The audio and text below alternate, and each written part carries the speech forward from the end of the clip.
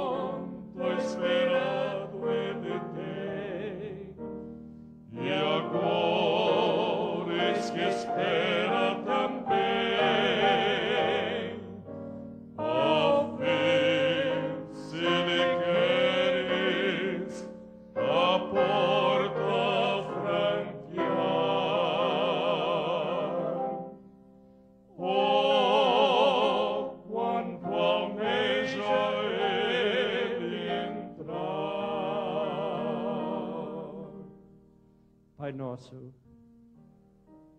aqui estamos diante de Ti. Temos olhado as palavras das Escrituras. São bem claras. Pai, ajuda para que possamos seguir a Ti, não seguir seres humanos. Pai, abençoe cada pessoa que está ouvindo minha voz agora. Em casas particulares, em igrejas, em salões. Centenas de milhares de pessoas.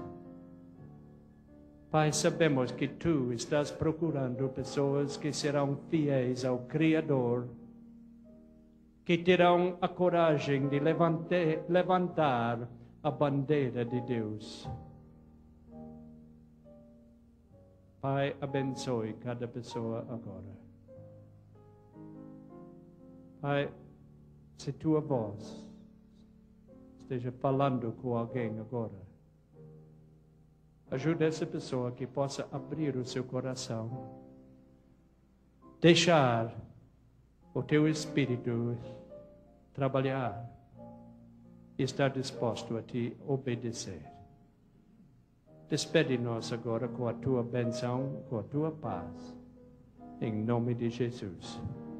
Amém.